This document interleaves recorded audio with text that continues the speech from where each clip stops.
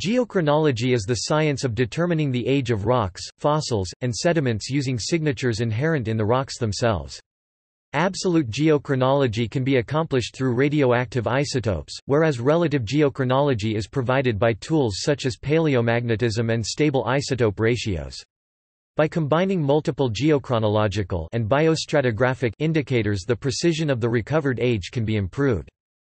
Geochronology is different in application from biostratigraphy, which is the science of assigning sedimentary rocks to a known geological period via describing, cataloging and comparing fossil floral and faunal assemblages. Biostratigraphy does not directly provide an absolute age determination of a rock, but merely places it within an interval of time at which that fossil assemblage is known to have coexisted. Both disciplines work together hand in hand however, to the point where they share the same system of naming rock layers and the time spans utilized to classify layers within a stratum. The science of geochronology is the prime tool used in the discipline of chronostratigraphy, which attempts to derive absolute age dates for all fossil assemblages and determine the geologic history of the Earth and extraterrestrial bodies.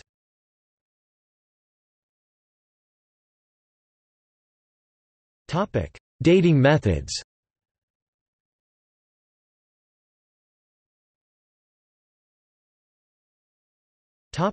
Radiometric dating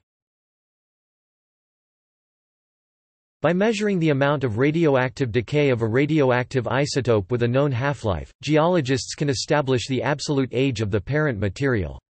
A number of radioactive isotopes are used for this purpose, and depending on the rate of decay, are used for dating different geological periods. More slowly decaying isotopes are useful for longer periods of time, but less accurate in absolute years. With the exception of the radiocarbon method, most of these techniques are actually based on measuring an increase in the abundance of a radiogenic isotope, which is the decay product of the radioactive parent isotope. Two or more radiometric methods can be used in concert to achieve more robust results. Most radiometric methods are suitable for geological time only, but some such as the radiocarbon method and the 40Ar, 39Ar dating method can be extended into the time of early human life and into recorded history. Some of the commonly used techniques are radiocarbon dating. This technique measures the decay of carbon-14 in organic material and can be best applied to samples younger than about 60,000 years. Uranium-lead dating. This technique measures the ratio of two lead isotope S lead-206 and lead-207 to the amount of uranium in a mineral or rock. Often applied to the trace mineral zircon in igneous rocks, this method is one of the two most commonly used along with argon-argon dating for geologic dating. Monazite geochronology is another example of UPB dating, employed for dating metamorphism in particular. Uranium-lead dating is applied to samples older than about 1 million year. Uranium-thorium dating. This technique is used to date speleothems, corals, carbonates, and fossil bones. Its range is from a few years to about 700,000 years. Potassium-argon dating and argon-argon dating. These techniques date metamorphic, igneous and volcanic rocks.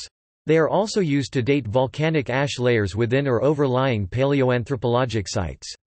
The younger limit of the argon-argon method is a few thousand years. Electron spin resonance ESR dating. Topic: Fission track dating.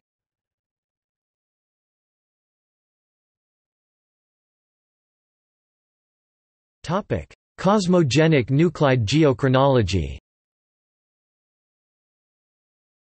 A series of related techniques for determining the age at which a geomorphic surface was created exposure dating, or at which formerly surficial materials were buried burial dating. Exposure dating uses the concentration of exotic nuclides e.g. 10B, 26Al, 36Cl produced by cosmic rays interacting with Earth materials as a proxy for the age at which a surface, such as an alluvial fan, was created. Burial dating uses the differential radioactive decay of two cosmogenic elements as a proxy for the age at which a sediment was screened by burial from further cosmic rays exposure.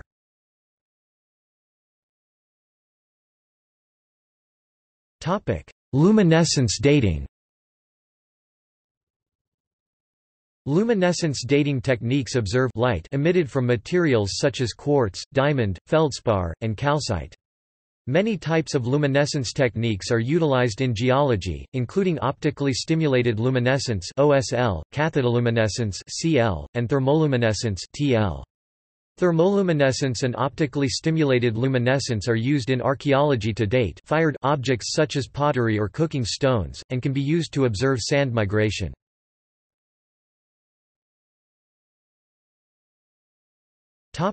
Incremental dating Incremental dating techniques allow the construction of year-by-year -year annual chronologies, which can be fixed i.e. linked to the present day and thus calendar or sidereal time or floating. Dendrochronology Ice cores Lichenometry Varves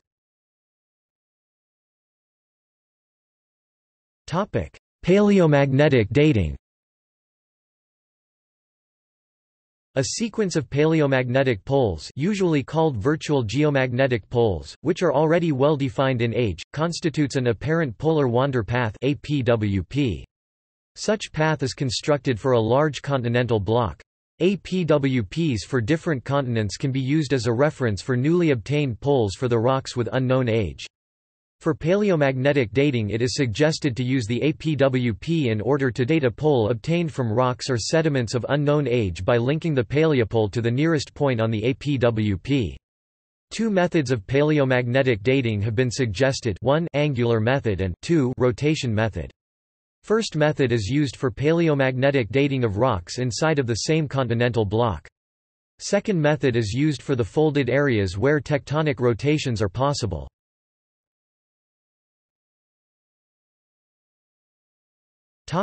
Magnetostratigraphy Magnetostratigraphy determines age from the pattern of magnetic polarity zones in a series of bedded sedimentary and or volcanic rocks by comparison to the magnetic polarity timescale. The polarity timescale has been previously determined by dating of seafloor magnetic anomalies, radiometrically dating volcanic rocks within magnetostratigraphic sections, and astronomically dating magnetostratigraphic sections.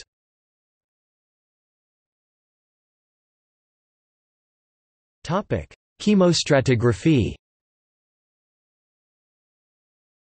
Global trends in isotope compositions, particularly carbon-13 and strontium isotopes, can be used to correlate strata.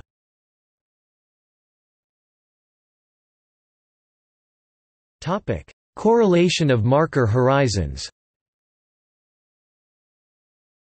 Marker horizons are stratigraphic units of the same age and of such distinctive composition and appearance, that despite their presence in different geographic sites, there is certainty about their age equivalence. Fossil faunal and floral assemblages, both marine and terrestrial, make for distinctive marker horizons.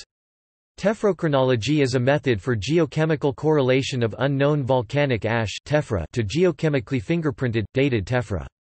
Tephra is also often used as a dating tool in archaeology, since the dates of some eruptions are well established.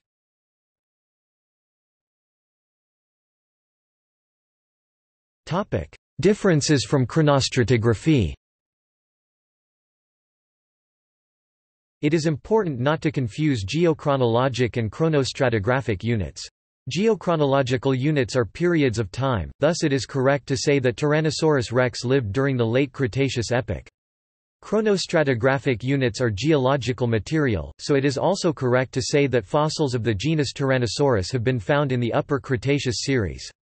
In the same way, it is entirely possible to go and visit an Upper Cretaceous series deposit, such as the Hell Creek deposit where the Tyrannosaurus fossils were found, but it is naturally impossible to visit the Late Cretaceous epoch as that is a period of time.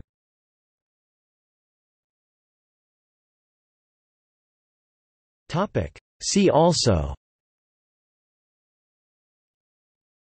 Age of the Earth Alfred O. C. Nier Arthur Holmes Chronological dating Closure temperature Consilience Fritz Houtermans List of geochronologic names Thermochronology Thomas Edvard Krogh